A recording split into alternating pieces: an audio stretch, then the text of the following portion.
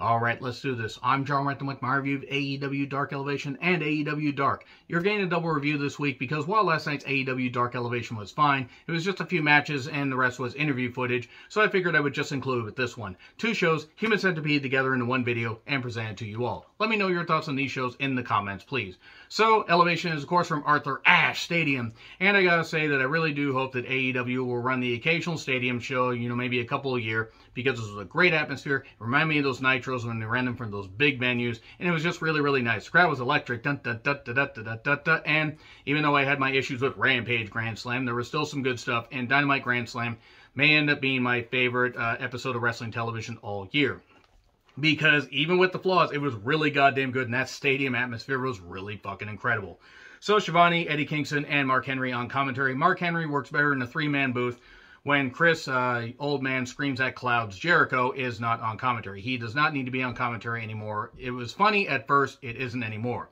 So the crowd was up. Thunder Rosa. Everybody's up for Thunder Rosa. That I found. I saw that going a lot better in my head, but I love Thunder Rosa one of my favorite wrestlers of the last few years, my favorite wrestler of this year. She's taken on Kayla Sparks, I believe was her name. Uh, the crowd was up for Rosa. And uh, Kayla, you know, got in some shots, but uh, commentary does knock Schiavone for mentioning Britt because they're trying to build up, uh, you know, Adam Cole, baby, versus Tony Schiavone. That'll put butts in seats. And we get drop kick in the ropes. Ouch. Fire Thunder Driver one, two, three. Silver and Reynolds, Angels, uh, Alan 5, Angels, and 10 take on TJ Crawford Eric James, Kevin uh, Tibbs, and Dean Alexander. The crowd cheered the Dark Order and they glom these guys and full Nelson for the win. And then Paul White beat up CPA, VSK, and RSP. So many goddamn letterings here. and the Gun Club uh, shows up on the stage because we need to see Billy Gunn versus Paul White in 2021 when we didn't really need to see them team up in 2001. So anyway, late stage Andre squash here, and these chops kept going. It should have been a squash, but it kept going. And I'm glad that Paul White's gained a chance to wrestle a little bit, but oh boy, KO punch, double choke slam, one, two, three. There you go. Now for the promos. Britt uh, is happy about beating uh, Ruby. She says it's back to the DMD era. MJF says this place is a rat-infested um, you know, dump and talks about how he'll be in his real hometown of Queens. Or no, wait. Be in his real hometown, some uh, wherever they're going to be next week. I don't exactly remember. I think they're actually in Queens. Pillman Jr uh, how he beat Pillman Jr. and somebody stop me, somebody stop me. And then without this company, uh, without me, this company ain't shit. And then the only three layers that matter in AEW are MJF. This is the kind of shit that I love from MJF. Bryan Danielson uh, talks about how, you know, he didn't come in to just start slow. He wanted to come in hot, and he felt the magic. It was really nice to go out there and just, you know, tear the house down, which he, which him and Omega did. They tore the fucking house down. One of my favorite matches of the year, 100%. Um, and then Kingston, Kingston's talking, he's putting over Homicide because they have a long-time friendship. Pillman Jr. talks about, you know, the uh, venue and everything. Santana Ortiz talk about how they've had to rise up, you know, from where they were in wrestling.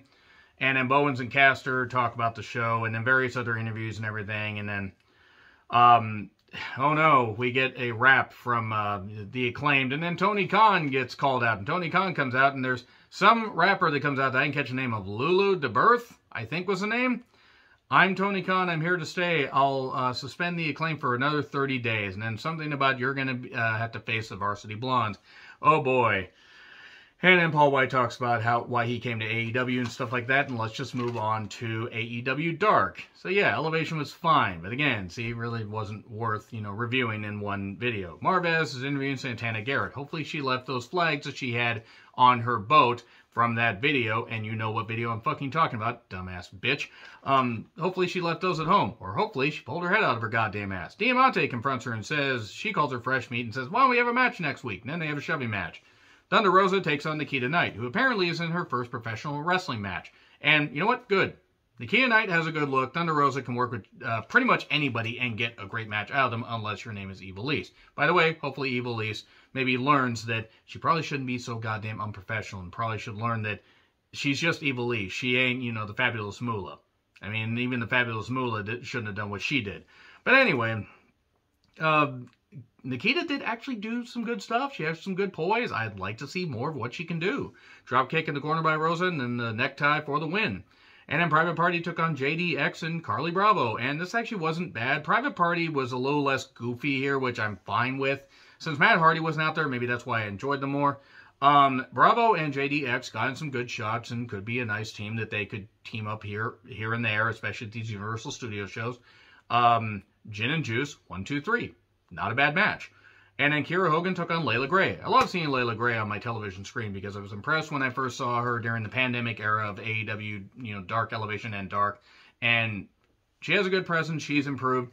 Kiera Hogan, she's got some fire to her, and this was fine. Um, she showed some attitude and fire. Uh, Leila did. Kiera did hit a drop kick in the corner and then a roundhouse kick, one, two, three. But good. Showcase Layla Grey a little bit more. Hopefully she's on some of these Universal Studio tapings. And Kiera Hogan, I can see why people praise her. 10 uh, versus Brandon Gore. That is a great last name, by the way. Brandon Gore just sounds like somebody that would have been an 80s slasher. Like, you know, some knockoff thing. Maybe from New Line Cinema in the early 90s. So, um, it was a squash and a full Nelson for the win. Wasn't bad, though. And then Jake St. Patrick, not Jake from State Farm, and Ryzen took on uh, Cezar Bononi and Adrian Jowd. And Bononi botched a backbreaker. My God, Jowd really needs help. Now, I will say that Jowd teaming with him is better than the Wingmen because I don't think Bononi belongs there. But whatever. Uh, twist slam one two three. I just I think Bononi's as good as he's going to get. Jowd has some good talent. Uh, Lance Archer took on Arjun Singh, and I'm going to quote. Um, they they had a well because Lance threw him down, you know, from the stage and everything, and beat him up, and beat him up outside the ring before the bell actually rang. And I'm just going to quote Roddy Piper about his match with Larry the Axe Hayne. The bell rang, and then the bell rang. Blackout one, two, three. I love Lance Archer. One of my favorite wrestlers of the year, easily. Been one of my favorites for a while, especially seeing how he came back from, you know, having major back surgery and did really good shit in New Japan and has done, despite some of the weird shit that's been going on in AEW, he's done really good shit, um, you know, as far as like just staying over. And I love seeing him squash guys. It's just funny.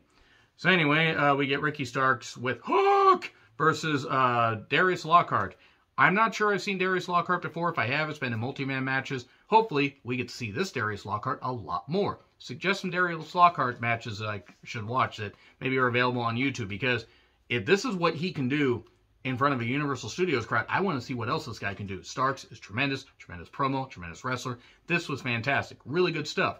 Now, yes, it's not gonna it's not gonna exactly set the world on fire. Like you could put this on Dynamite and actually would have been just fine. And it's not like this would have been something that I'm going to remember beyond maybe this review.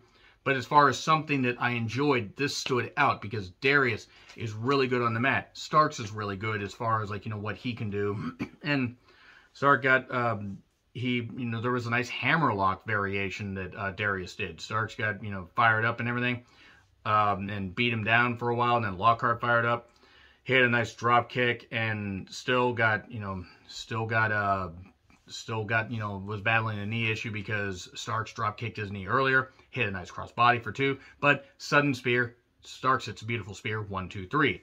Uno and Grayson took on Adrian Alanis and uh, Liam Gray. Okay, mostly a squash. Uno pins Adrian, I think. That's all I got to say about that. J-U-L-A-A, J-U-L-A-A, Hart, uh, took on Reka Tehaka. Um, and Julia has something but needs more time. Reka, yeah, she's fine. Um, and it was a splash and a split leg bulldog one, two, three. And in Bear Country took on uh, Jameson Ryan and Brick Aldridge. I think that uh, Boulder hurt his knee, so Bronson had to take over. Hopefully Boulder's all right, and hopefully he just tweaked it. He just came back from an injury. Um, they're a good team.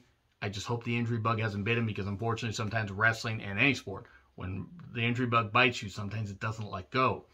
Um, uh, and Bronson used a cannonball in the corner. Uh, the move, the cannonball, not actual cannonball, that would have been dangerous, and got the pin one, two, three. Again, hopefully uh, Boulder is going to be all right. QT and Solo with Comoroto took on Matt Sydal and Dante Martin. Matt is great. Dante is great. I don't give a shit about this factory stuff. And we get late, uh, we get a stage dive by both. QT bomb for two, and then kicks a plenty and moonsault one, two, three. There you go. That's it for that. Those are two shows done in under 10 minutes. Let me know your thoughts in the comments. Like, share, subscribe, Twitter handle in the description. I'm Jonn Ritland. I'll see you soon.